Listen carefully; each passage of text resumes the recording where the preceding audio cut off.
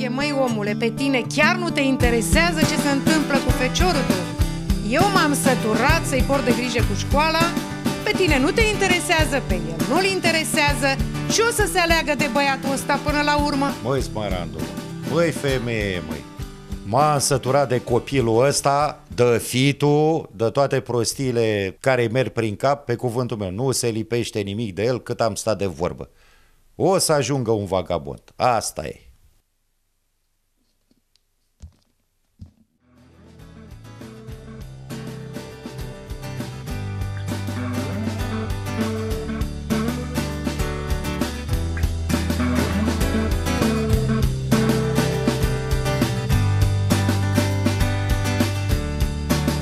Solomon secure myself. I way to love my guts again. A Smile to keep the trouble out. A friend to reach when I am down. A dear mother waiting. The coffee flavor down the hole. The simple words, my son, you. Bring me joy with what he made. Well, let's take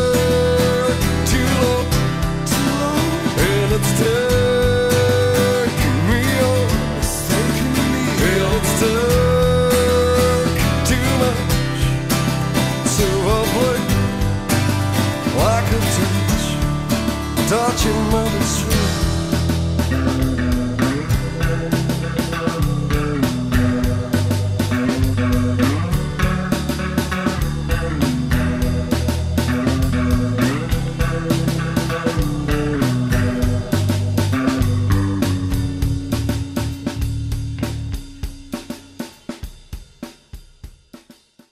În urmă cu 32 de ani s-a născut la Sinaia, în România, un copil cu numele Claudiu David.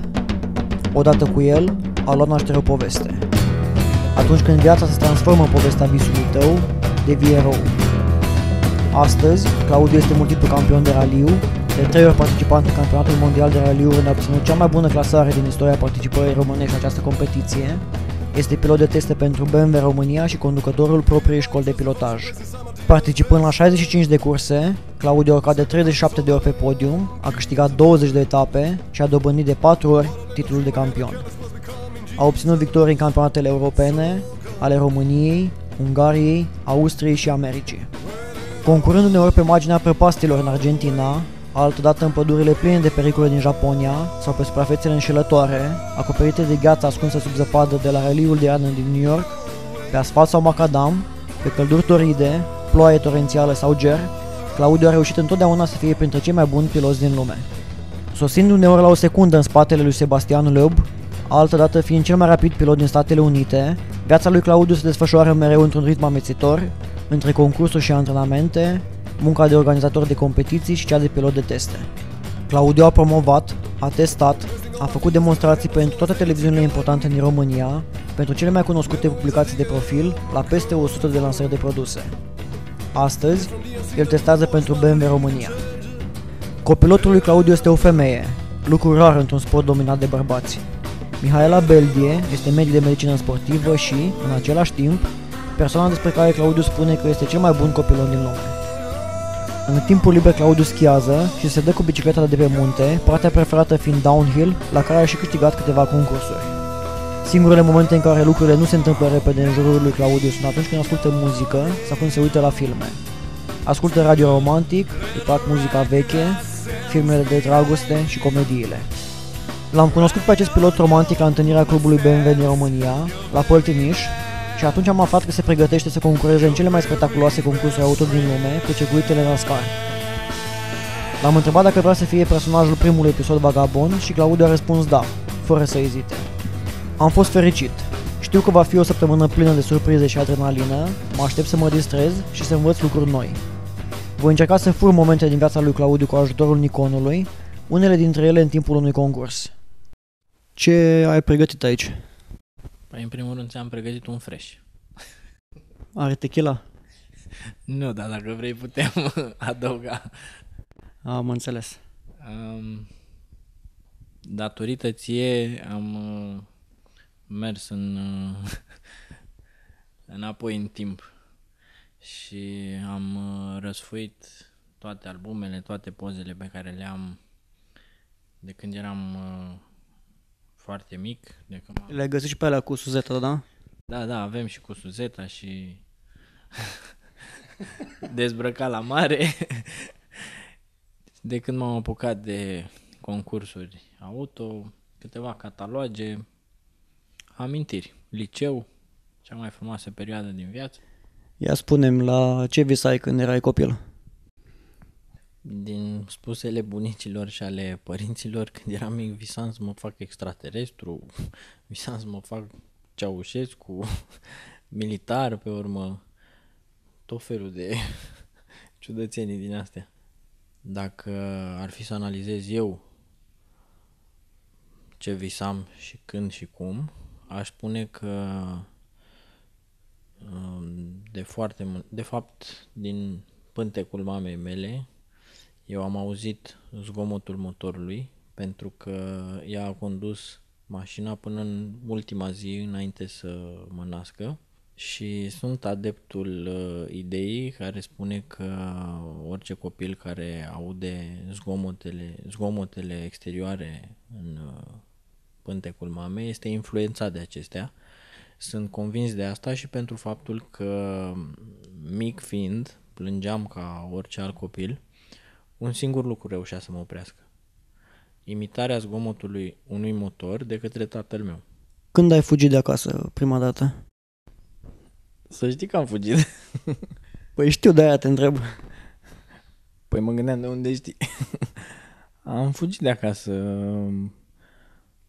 Cred că eram în liceu. În liceu, în clasa noua, cred că. Eram, da, așa ceva. Și, mă rog, știi cum e, ale tinereții valuri, dragoste, iubiri. Eu la școală am avut doar premiul întâi. Eram primul din clasă, primul din școală. Se ocupa foarte mult mătușa mea de mine. Mm, Să învăț foarte bine la școală și mm, țin minte că mergeam patru clase de clasa 4 și patru clase de clasa 5 să ne facă pionieri. Și ne-au dus la barajul Vidraru. Sus, acolo lângă statuie, e un platou. Am fost de curând, acum e închis, chiar vreau să revăd locul. Și după ceremonie, când ne-a pus cravata de gât și m-am văzut eu așa cu cravata roșie de gât și toată lumea aliniată, toată lumea urma să spună poezii, să... Ah, cum erau vremurile respective, cu părinți, cu profesori. Au- Erau, nu știu, câteva autocare de oameni. Am ieșit din rând, m-am dus în față, am strigat, mămica, hei Hitler! și am făcut semnul de hei Hitler, moment în care s-a terminat instantaneu toată ceremonia, toată lumea a muțit, au strâns toate alea, am plecat acasă, n-am înțeles de ce, nu mi-a zis nimeni și mie. Eu eram foarte supărat că s-a terminat ceremonia și după care a doua zi la securitate, direct, subsemnatul, de ce a spus copilul asta, ce se vorbește în casă, tatăl meu cu antecedente a vrut să treacă granița cu mult timp în urmă până să mă nasc eu și l-a prins. Deci chiar am făcut probleme mari din cauza asta. La liceu uh, am mai redus puțin motoarele la învățătură, considerabil. M-am ocupat mai mult de restul. Acolo s-au format prieteniile pe viață, acolo am trăit uh, prima și cea mai intensă dragoste. Acolo au fost cele mai frumoase momente din viața mea și mă uit acum la poze și mi-aduc aminte cu drag de colegii mei, de prietenii mei, de profesorii mei de atunci. Zim de prima dragoste din liceu. Păi uh, prima dragoste din liceu a durat aproape 14 ani de zile. Am început-o atunci în clasa 8 a 9 cred că între a 9 și aproape 14 ani de zile am fost împreună. Și la bune și la mai puțin bune și la lucruri frumoase și la mai puțin frumoase. Eu știu, știi cum e. Treci prin tot felul de, de lucruri. Claudiul este primul pilot pe care l-ați pregătit aici? Uh, Da, Claudiu este primul pilot care, care, pe care l-am pregătit aici și es- a fost uh, șansa noastră de a lucra într-o zonă în afara sporturilor olimpice, într-o zonă de sporturi cu un mixaj interesant între calitățile sportivului și, și mașină. Ce tip de antrenament a făcut Claudiu aici? Uh, În afară de partea de antrenament fizic de care s-a ocupat uh, colegul meu uh, Costi Ignat, uh, uh, Claudiu a avut parte de un antrenament pe care noi îl dezvoltăm, credem noi că este o parte din antrenamentul viitorului, o, un antrenament de dezvoltare, de rafinare a calității controlului neuromuscular, am dezvoltat în institut uh, câteva concepte, unul dintre ele este acela de dezvoltare prin senzații.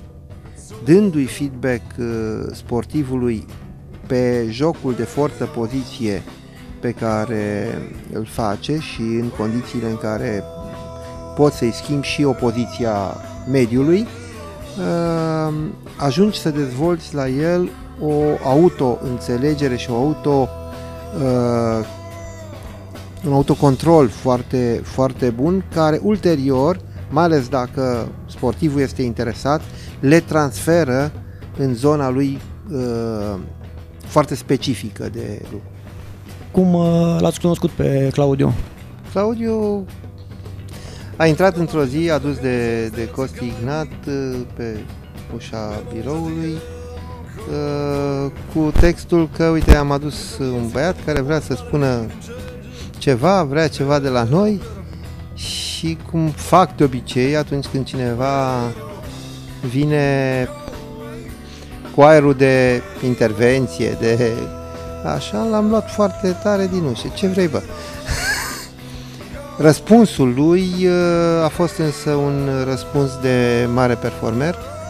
Mi-a precizat un obiectiv foarte clar. Avea, dacă mi-aduc aminte, 24 de ani și mi-a zis uh, vreau să concurez în campionatul mondial de raliuri ca junior. Ați descoperit aptitudini deosebite la Claudiu în comparație cu alți sportivi care se pregătesc aici? Uh, fără doar și poate și asta a venit din prima parte și din prima, primele 10 secunde, 20 de secunde în care ne-am uh, întâlnit când uh, prima calitate deosebită a fost aceea de definire foarte precisă a obiectivelor și de determinare a sa pentru atingerea acelor obiective. E un lucru pe care nu îl întâlnești foarte des uh, pe multe generații de sportivi, uh, de cele mai multe ori ei învață să se determine pentru performanță. Uh, Claudiu a intrat în povestea asta extrem de determinat. După aia, calitățile lui de, de autocontrol, care sunt de excepție, uh, au fost evidențiate în viteza cu care a putut să parcurgă pașii de creștere în autocontrol și către de la viteze mici ale, ale schimbării calității controlului la viteze foarte mari, ceea ce probabil că contează în, în cursa de raliuri unde timp de gândire nu prea ai, ci trebuie să acționezi, să decizi, să de acționezi extrem de prompt și extrem de precis. Orice overreacție contează, orice uh, reacție sub ceea ce ar trebui de asemenea contează. El a învățat uh, și cred că a învățat pentru că era în el, n-a făcut decât să descopere. Într-un fel, aș asemui puțin ceea ce s-a întâmplat cu Claudiu sau ceea ce noi am reușit să facem cu Claudiu uh, cu o poveste pe care o spunea la un moment dat Michelangelo despre de sculpturile pe care le făcea în marmură, spunea că el nu, nu face sculpturi, ci dă la o parte marmura suplimentar. Cred că asta am făcut și noi. Am plecat în Ungaria, spre un orășel de lângă Peci, ca să întâlnesc echipa lui Claudiu și să filmez un test și o setare pe care le vor face mașinii de concurs înainte de rally show-ul de la Sibiu, ce urmează să aibă loc.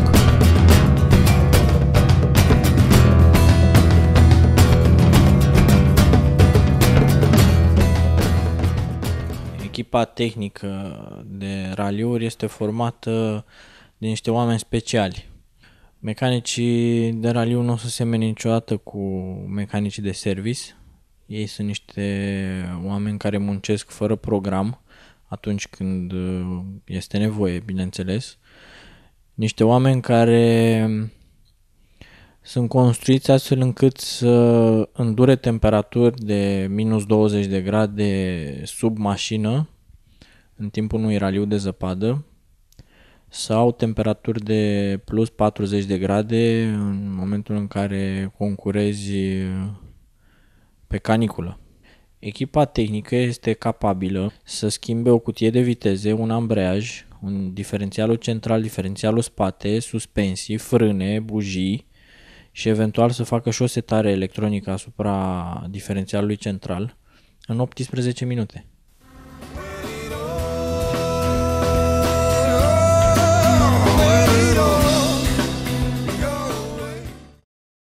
Știu că ați avut și câteva momente mai, mai dificile cu ieșiri în afara, în afara traseului. Cum ați trecut peste...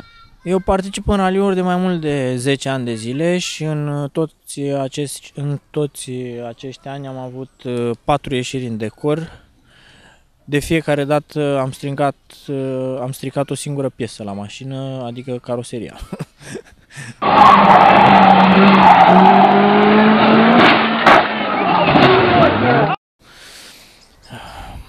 După acea ieșire în decor, practic am avut nevoie de un psiholog sportiv. De fapt, uh, un psiholog sportiv uh, ne asistă pe tot parcursul uh, sezonului competițional, dar cu atât mai mult în acele momente am avut nevoie de un psiholog sportiv pentru că trebuie să fii capabil ca după o astfel de daună totală a mașinii și după o răsturnare de 6-7 ori să te sui la volan și să mergi maxim la următorul raliu. Claudiu a făcut un examen medical, iar eu l-am însoțit pentru a filma câteva cadre.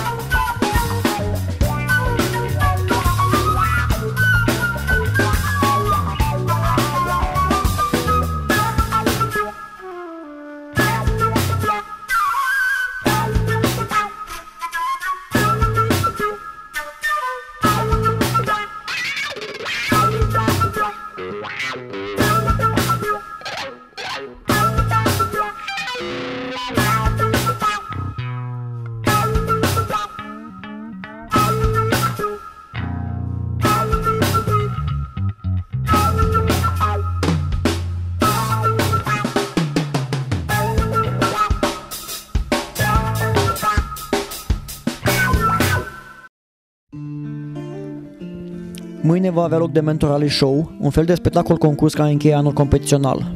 Este departe de ceea ce înseamnă raliu, fiind mai degrabă o manifestare dedicată fanilor acestui sport.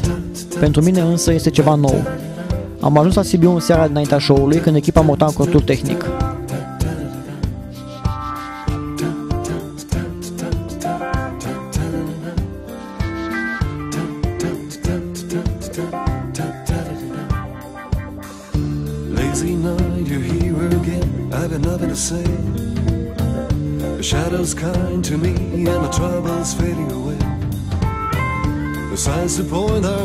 Home, but I've gotta go now. Back to my home. And dead, forgive me, son. Can you show me the door? It seems I need a map. Can I find the exit alone? The signs to point directions out, but I gotta go now.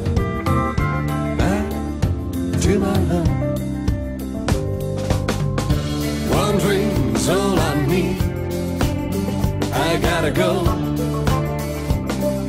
I'm not from this world. Pe Peste câteva minute luăm startul în prima manșă de la rally show-ul de la Sibiu. Cum te simți? Mă simt foarte bine. De această dată concurez cu mașinuța mea, cu echipa mea Top Cars din Ungaria și sunt extraordinar de fericit că mă aflu aici. O să mă bucur de fiecare metru. Și eu sunt foarte fericit, dar în același timp mor de frică pentru că în această primă manșă o să fiu alături de Claudiu în mașină și voi filma. De fapt voi încerca să filmez să vedem ce, ce va ieși.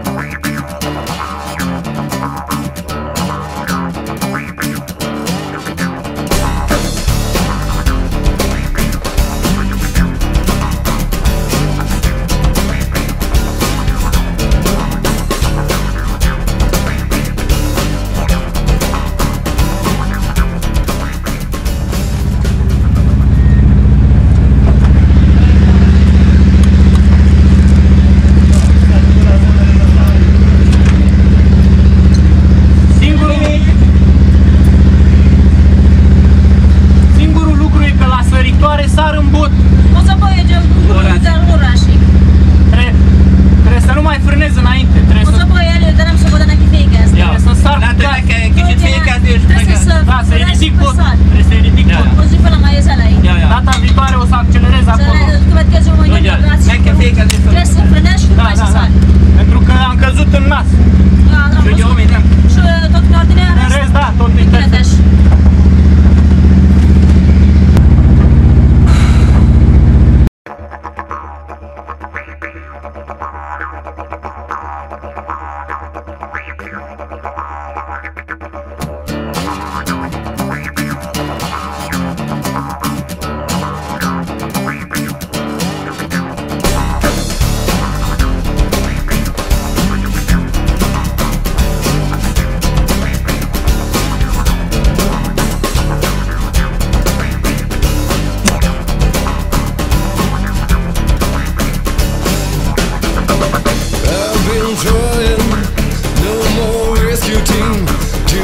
Weakness, it's over. One is iron, leads in blocks away. No more rescue, it's over. So what the hell you want from me? You take for granted all I give. No more complaints, I hear no more, not even one one. No more of you, I hit enough. You don't deserve to share my track. Enjoy your broken self-esteem,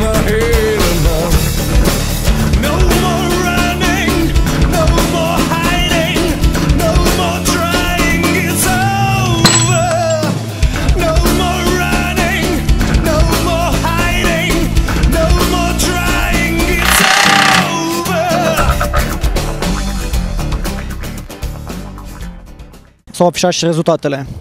Să ne uităm pe liste să vedem pe ce loc suntem.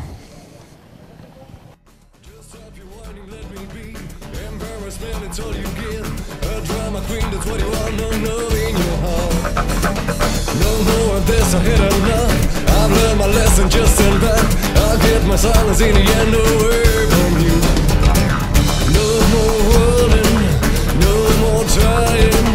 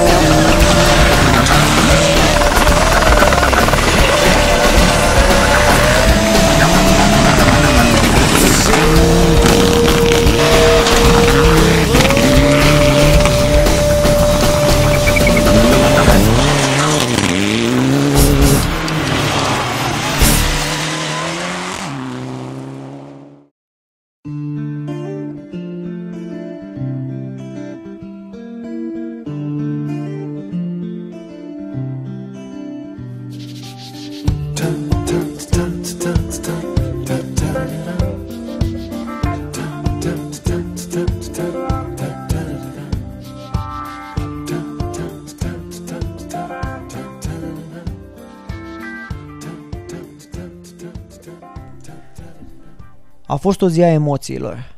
Pentru câteva ore, în aer s-au amestecat pasiune, încrâncenare, tristețe, bucurie și solidaritate. O zi pe care nu o voi uita niciodată. Am stat, pentru prima dată, în dreapta unui pilot de raliu, unul dintre cei mai rapizi piloți din lume. Viața lui Claudiu se desfășoară într-un univers aparte. Este ca o microlume cuprinsă în lumea pe care o știm cu toții, dar cu alte reguli, cu un alt ritm. Oamenii din jurul lui Claudiu sunt profesioniști absoluți, dedicați în totalitate performanței. Deși s-ar putea crede că sunt caractere reci, pragmatice, lipsite de sentimente care se facă vulnerabil, nu este deloc așa. Relația dintre ei este una a pasiunii și încrederii, asemănătoare legăturii dintre gladiatorii care porneau pe vremuri la luptă, știind că vor urma momente când victoria, dar și viața, pot depinde de camaradul de alături. Ceea ce m-a impresionat cel mai mult în săptămâna petrecută alături de Claudiu este acest nivel al relațiilor umane, extrem de rar întâlnit. Când am început filmul, mă așteptam să întâlnesc profesionalism. Oamenii în spatele profesioniștilor m-au luat însă prin surprindere.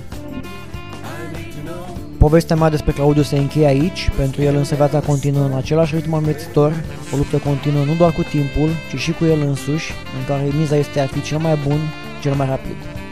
De ce face asta? De ce împinge întotdeauna lucrurile dincolo de propriile limite, care nu mai sunt de mult timp umane?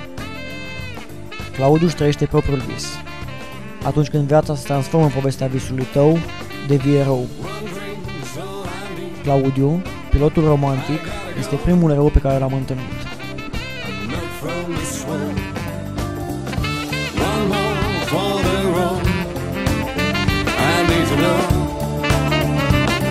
Within every song da da da da da da da da da